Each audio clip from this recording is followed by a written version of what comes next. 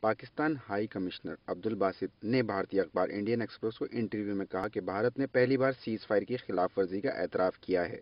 بارہ مولہ اڑی اور دیگر واقعات سے یہ واضح ہوتا ہے کہ مسئلہ کشمیر حل کرنے کی ضرورت ہے۔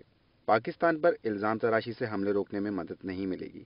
پاکستانی ہائی کمشنر نے بھارت کو مذاکرات کی پیشکش کرتے ہوئے کہا، سرجیکل اسٹرائک ہوتی تو اس کا جواب دیا جاتا۔ پاکستان کسی بھی قسم کی جہریت کا بھرپور جواب دینے کی صلاحیت رکھتا ہے۔ ان کا کہنا تھا کہ بھارتی فوج کی فائرنگ سے دو پاکستانی فوجی شہید ہوئے۔